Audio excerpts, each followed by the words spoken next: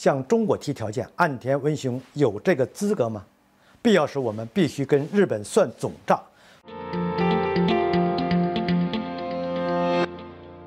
各位朋友，大家好，我是严树军，欢迎收看严树军论评。在 G7 峰会结束后的一个记者会上，日本首相岸田文雄突然给中国立了个规矩。他说，七国集团国家重申与中国直接对话，直接向中国表达关切，就全球性问题采取共同行动至关重要。但中国也应作为国际社会负责任的一员行事。言下之意即其愿意与中国直接对话，但有个条件。那就是中国必须更加负责任。可笑，日本作为二战战败国之一，给全球人们带来了巨大的苦难。事到如今，日本的军国主义思想都还没有彻底灭绝，这么一个不稳定因素，哪来的资格向中国提条件呢？岸田文雄想必还没搞清楚，当下希望建立对话通道的并不是中国，而是 G7，当然，其实就是指美国。在 G7 峰会召开之前，就有多位美国高官呼吁与中国重启对话。在 G7 峰会召开期间，拜登更是单方面宣布中美关系将解冻，迎来缓和期。这些都说明，在建立对话通道这件事情上，中国是供，美国是求。现在供不应求，急的是美国，而不是中国。既然如此，那与美国站在一条船上的日本。是没有任何资格为与中国直接对话附加条件的。由此可见呢，岸田文雄给中国立规矩，明显不是真心想帮助美国重启与中国的对话。日本的意图八成是为中美博弈煽风点火，助长中美对话遇冷的局势。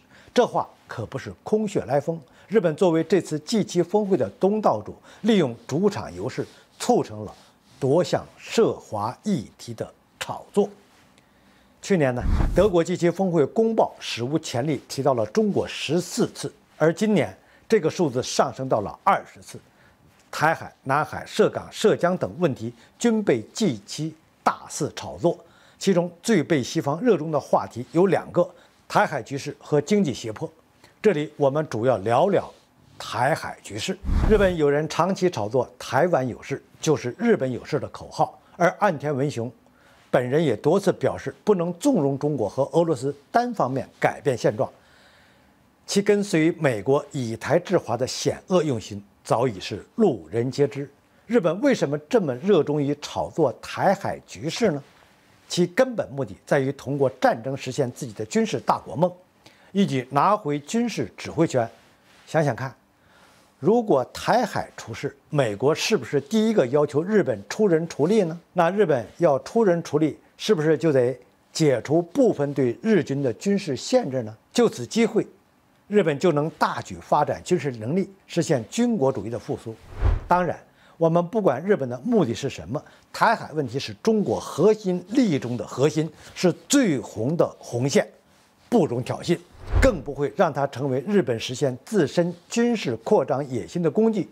所以，日本如果真敢插手台海问题，那也不用多废话了，新账旧账一起算，必须把日本打残打废。